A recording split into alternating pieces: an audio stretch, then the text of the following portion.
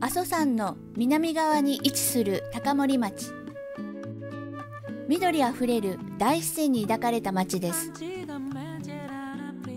21世紀に残したいふるさと百景第1位に選ばれた月回り公園をはじめ野草園や自然遊歩道が点在しています。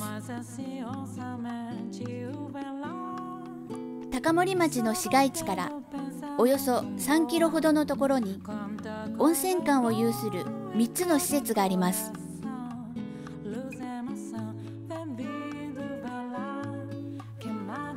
緑のアプローチを抜けまず見えてくるのが体育館です。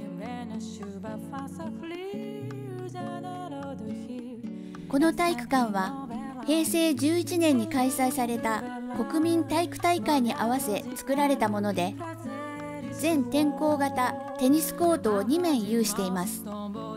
町内外からテニスの愛好家や中高生の部活動なので幅広く利用されています。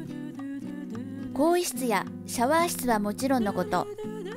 貴賓室や会議室があり多目的に利用できる体育館です。2つ目の施設グラウンド。野球場として使用する場合は2面使用できます。サッカー場としても利用可能です。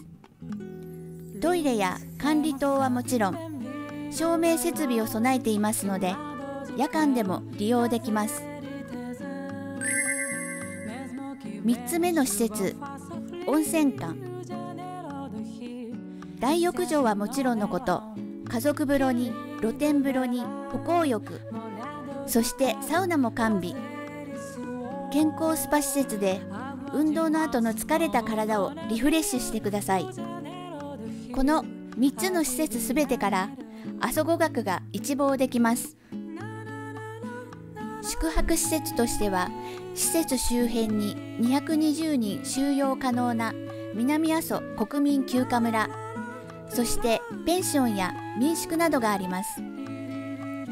標高500メートルで爽やかな風が吹き抜ける雄大な自然の中3つの施設はあります。